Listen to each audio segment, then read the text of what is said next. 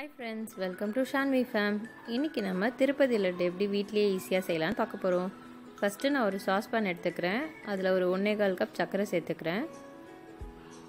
இப்போ ஹீட் பண்ணிவிட்டு இதில் கொஞ்சம் தண்ணி சேர்த்துக்க போகிறேன் சர்க்கரை முழுகிற அளவுக்கு மட்டும் தண்ணி சேர்த்தா போதும்.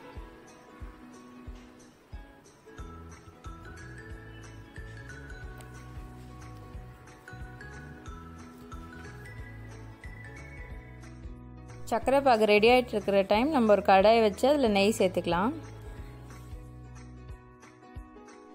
நெய் உருகினதும் அதில் முந்திரி திராட்சையை முதல்ல வறுத்து வச்சிடுறேன். திராட்சைலாம் நல்லா இப்படி உப்பி நல்லா முந்திரிலாம் கொஞ்சம் ரோஸ்ட் ஆனவுடனே எடுத்துருங்க.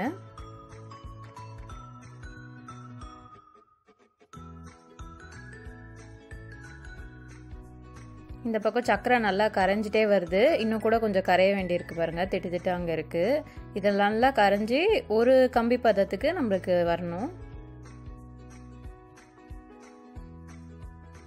இப்போ அந்த பொரிச்ச நெய்யில் வந்து நான் இன்னும் கொஞ்சம் எண்ணெய் சேர்த்துக்கிறேன். பூந்தி பொரிக்கிற அளவுக்கு எண்ணெயை சூடு பண்ணிக்கலாம்.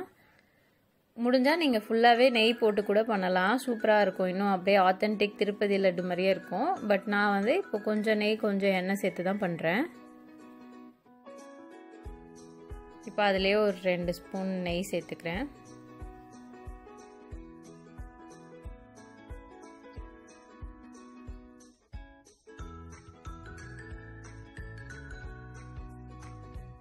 ஒரு பவுலில் கால் கப் பேக்கிங் சோடா ஆப்ப சோடா சொல்லுவாங்களே அது போட்டுக்கிறேன். அப்புறமா ஒரு கால் கப் சர்க்கரை சேர்த்துக்கிறேன்.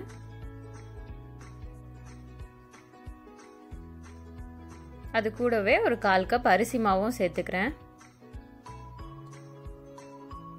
இப்போது கடலை மாவு வந்து ஜலிச்சு இதில் சேர்த்துக்கிறேன். நான் வந்து ஒரு ஒரு கப் கடலை மாவு சேர்க்குறேன். அந்த கட்டிலாம் இல்லாமல் நல்லா ஜலிச்சுக்கோங்க. இப்போ தான் ஈவனாக மிக்ஸ் ஆகும்.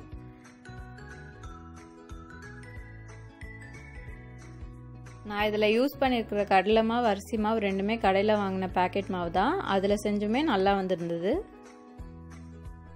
இப்போ இதில் நான் கொஞ்சம் மஞ்சத்தூள் சேர்த்துக்கிறேன். இது வெறும் கலருக்காக தான். வேறு எந்த ஃப்ளேவரும் இது உங்களுக்கு கொடுக்காது. வேண்டான்னா விட்டுடலாம்.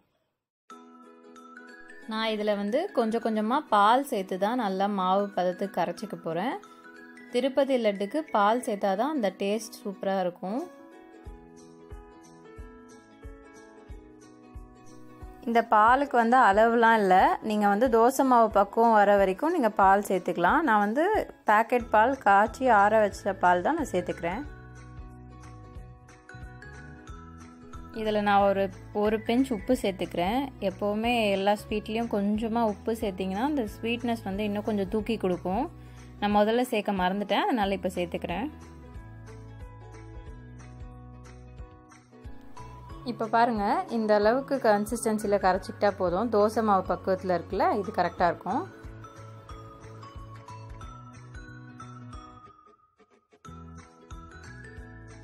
இப்போ எண்ணெய் நல்லா காஞ்சிடுச்சு பூந்தியெல்லாம் வந்து நம்ம நார்மல் ஜல்லிக்கரண்டி வச்சே போட்டு பொரிச்சு எடுத்துக்கலாம்.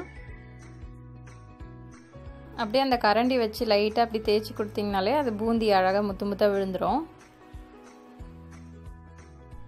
ரொம்ப கிறிஸ்பாக பொரிச்சிட வேணாம். ஒரு ஒரு நிமிஷத்துலேருந்து ரெண்டு நிமிஷத்துக்குள்ளேயே பூந்தி வந்து நல்லா வெந்துடும் ரொம்ப கிறிஸ்பாக பொரிச்சிங்கன்னா காரா பூந்தி மாதிரி ஆயிரும். அதனால் அதுக்குள்ளேயே எடுத்துருங்க.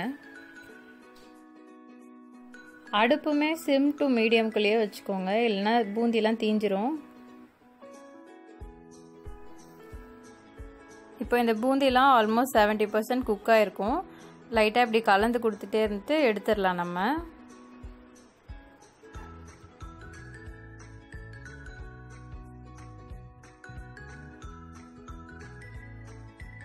இந்த பக்கம் சக்கரை பாகம் ரெடி ஆயிடுச்சு இப்போது இது வந்து கொஞ்சமாக நீங்கள் ரெண்டு விரலுக்கு நடுவில் தொட்டு பார்த்தீங்கன்னா இப்படி ஒரு கம்பி மாதிரி வந்து பாதியாக கட் ஆயிரும். இது அரை கம்பி பதம்னு சொல்லுவாங்கள்ல அந்த அளவுக்கு இருந்தால் கரெக்டாக இருக்கும். ஸோ நான் ஸ்டவ் ஆஃப் பண்ணிடுறேன்.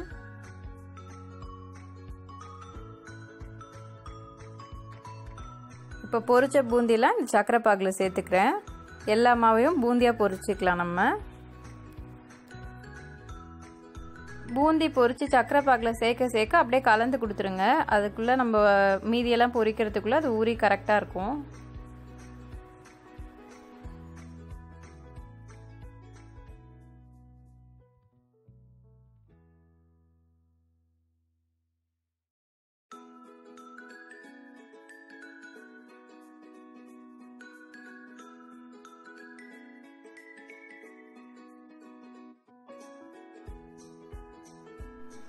இப்போ நான் எல்லா பூந்தியும் பொறிச்சு முடிச்சிட்டேன்.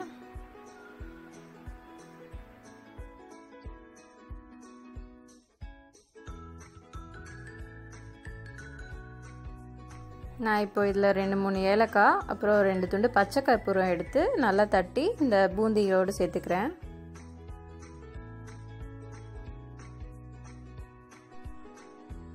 இது வந்து ஒரு ஃப்ளேவருக்காக தான். உங்களுக்கு ஏலக்காவோ இல்லை பச்சை கற்பூரமோ பிடிக்கலனா சேர்க்க வேண்டாம். பட் இதை சேர்க்கும் போது டேஸ்ட் இன்னும் ரொம்ப நல்லாயிருக்கும்.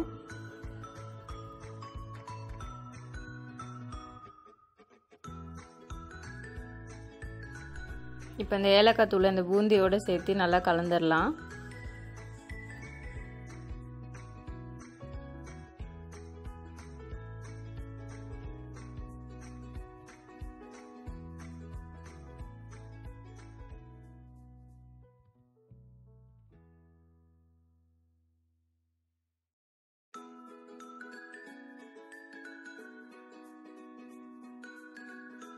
இப்போ இதில் வறுத்து வச்சுருக்கிற முந்திரி திராட்சையெல்லாம் சேர்த்துக்கிறேன்.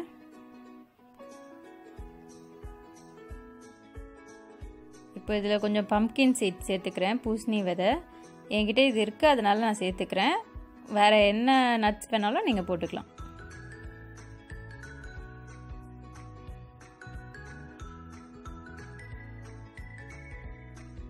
கடைசியாக கொஞ்சம் பனை கல்கண்டு சேர்த்துக்கிறேன். யூஸ்வலாக கல்கண்டு தான் சேர்ப்பாங்க. ஆனால் நான் இன்றைக்கி என்கிட்ட பனை கல்கண்டு இருக்குது அதனால் அதை சேர்த்துக்கிறேன்.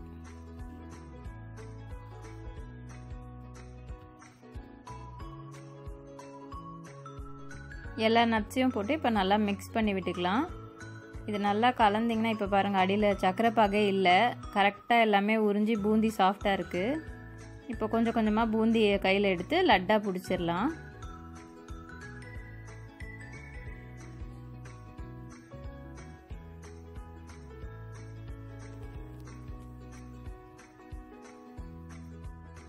இப்போ நான் செஞ்ச அளவுக்கு எனக்கு வந்து பன்னெண்டு லட்டு கிடச்சிருந்தது. அதிகமாக வேணும்னா நீங்கள் அப்படியே அதிகமாக இந்த குவான்டிட்டியை இன்க்ரீஸ் பண்ணி பண்ணிக்கலாம். அவ்வளோதான் சூப்பரான திருப்பதி லட்டு ரெடி